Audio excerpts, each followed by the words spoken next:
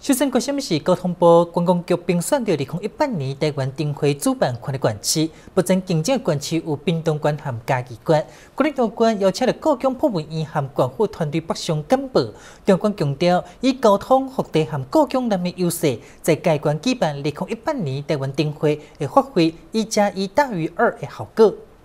二零一八年台湾灯会有嘉义馆和滨东馆提出申请。各场电话馆虽然身体无爽快，有愿坚持要来亲自北上，一开始就公开来询问委员是毋是拄着任何压力。如果有嘉义馆，会马上提出申请。在评审会顶头，电话馆亲自向评审委员来说明嘉义馆的优势，同时伫咧脸书顶头现场直播，和证明来检视着嘉义馆规划的能力，开创馆户。行动号令新的职业，同时嘛展现嘉义县政府团队的软实力和巧实力。那我们有很强的观光的一个资源啊，那交通也非常的便利啊。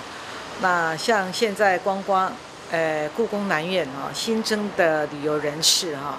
啊，从四百万到六百万哦，是一个新兴的景点，这也是灯会举办最重要的意义，增加观光的效益。所以，我对嘉义啊，是一个纯粹从专业的角度来讲，我们是最具观光效益的一个点。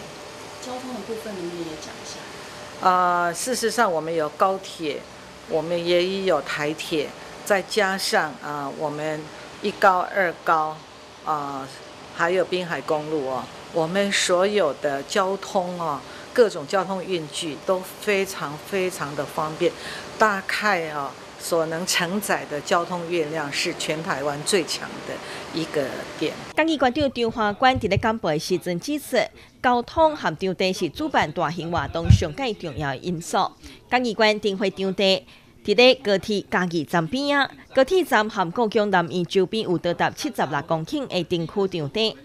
场地会当停靠着车辆三万台，境内有十七条的路线会当到达订会现场。高铁一个二个第十九线、第十七线和八十二线快速道路会当快速来消化车流。在台湾是揣无比嘉义关更加适合的场地。最新新闻，准备新嘉义关彩虹报道。